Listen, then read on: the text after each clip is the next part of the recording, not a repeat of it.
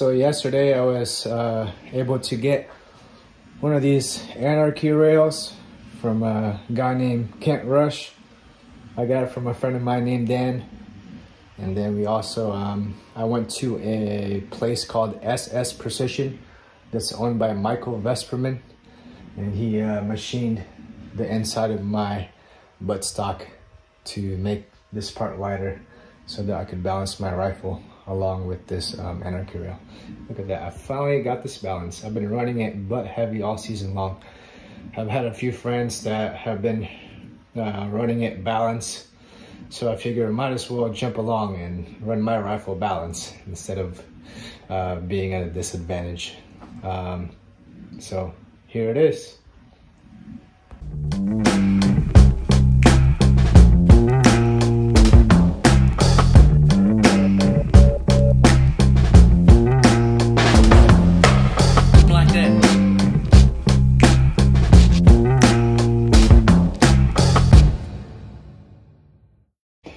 Hey guys, we have here a Vudoo that's well balanced. Chamber's clear. This was not always like this. Getting these uh, Vudoos to balance, or these 22s rather, it's uh, a little bit more challenging than a centerfire because the barrels on these things are shorter and lighter than the centerfire. Um, this one is a 22 inch MTU contour so for the most part, last season I was running it butt heavy, but finally got around to getting it balanced. Um, if you ask me, did I have any problems with it not being balanced? Well, I did pretty well last season with my rifle uh, being mostly butt heavy. So um, I think it's still mostly the shooter. But this season, I decided to get my rifle to balance and maybe get that slight bit of advantage, hopefully, and can turn into extra points. Um, so I got this thing finally balanced. I added this uh, Anarchy brass rail from Kent Rush. This weighs a pound and three ounces. Um, and I can adjust it up and down along the, uh, the on-shits rail of the foundation stocks. I also added 12 of these cylinder lead plates. Uh, I got this from a local friend of mine named uh, Jon. So I put um, 12 of these lead weights inside of the fore end of the stock, which gives me a little bit over a pound more in weight. So a pound and three ounces and another a little bit over a pound of weights inside the fore end. I went ahead and asked one of my friends named Mikael. He owns a shop. It's called SS Precision. He uh, took off some um, some material from inside of the buttstock to make it a little bit lighter. He took off maybe like four or five ounces. So as you can see, it's pretty balanced. And you want that balance to be right there in front of the. I ended up uh, purchasing one of these light cheek pieces with this machined out. I got it from uh, John Kyle. Uh, before before it was just this big block of thing, but this one's I think three or four ounces lighter as well. So uh, that keeps it from being butt heavy.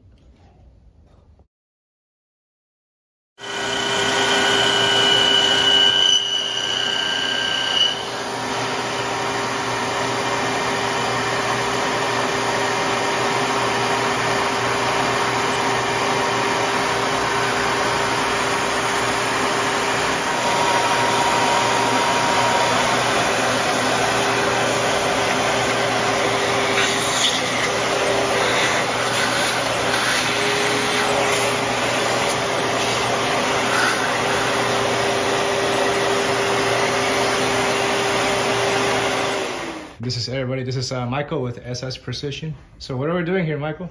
Uh, we are lightening the back of this buttstock for this gentleman Yeah. uh, to see if we get enough weight out of it for him.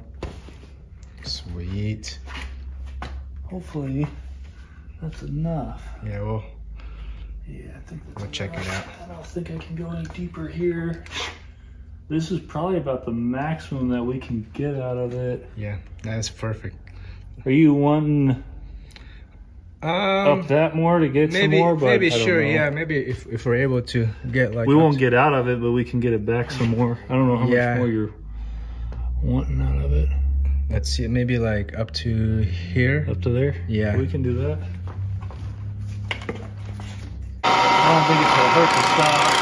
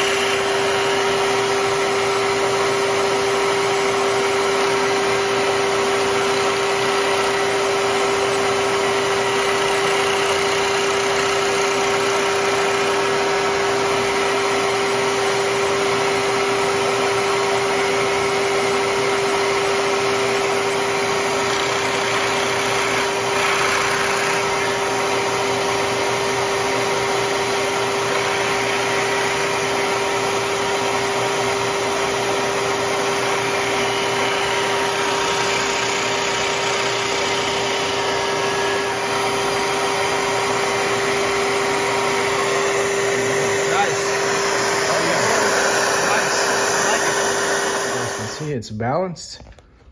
Look at that. Mikael, thank you, buddy. Appreciate it. How heavy is your rig? Uh, You this is weighed about, oh man, I did. I think right now it's uh 19 and a half, maybe, maybe 20.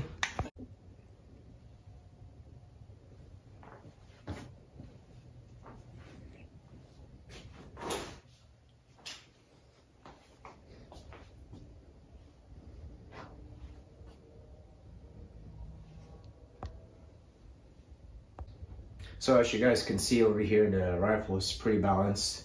Um, right there, right in front of the mag. Well, this prevents me from having to fight with the rifle if I'm if I'm free recoiling, which I tend to just load my shoulder onto the rifle anyway. Um, but if I'm free recoiling a little bit, it keeps me from having to fight with the rifle. Keeps me from having to push it forward, so to speak, and that increases my stability and should result in more impacts, um, especially in those low kneeling and high awkward positions. So um, this is not a replacement for good fundamentals. And obviously you don't need to have your rifle balance to shoot well um, and to place high if you have good fundamentals and you load your uh, you load your body into the rifle well or having the rifle balance should not be a replacement for good fundamentals. So uh, thank you guys for uh, watching this video. I know I've been posting a lot of uh, gear reviews. Um, I'm gonna try to get some more range videos, match videos. Um, I've been haven't shot since the PRS finale, so uh, but I plan on shooting a match uh, this weekend at Jacobs Plain. Uh, it's a New Year's match, January 1st. So I'm planning on filming that one. Hopefully, I could get you guys some more range video. Well, see you guys later.